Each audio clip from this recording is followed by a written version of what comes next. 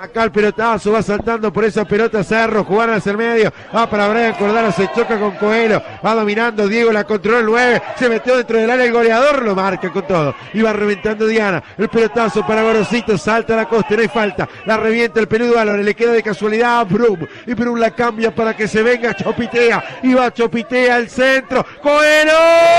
¡Gol!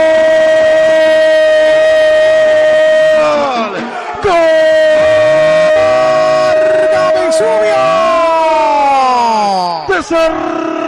Que abre la cuenta. El centro al área de Chopitea. Y aparece el goleador. Aparece el 9 dentro del área para meter el frentazo y colocar la pelota contra la red. Cerro lo buscaba. Cerro insistía. Cerro quiere ganar. Cerro quiere meterse en los playoffs. Ser la pesadilla de Danubio y defensor y colocarse en puesto de ascenso en esta temporada. Cerro quiere festejar su aniversario 100 en primera. Para eso tiene que ganar. Para eso tiene que buscar el 9 y aparece la fortaleza del Cerro, aparece el 9 Coelho para indicar que Cerro está ganando 1-0. Y el que avisa no traiciona. Hace 12 minutos desbordó Chopitea y buscó a Coelho que no logró conectar, pero en esta el centro fue espectacular. Para que en el punto penal falló primero Diana a las alturas y Coelho solo apareciera para meter un cabezazo que ya tenía destino de red, que se clava contra el palo izquierdo de Lucero Álvarez,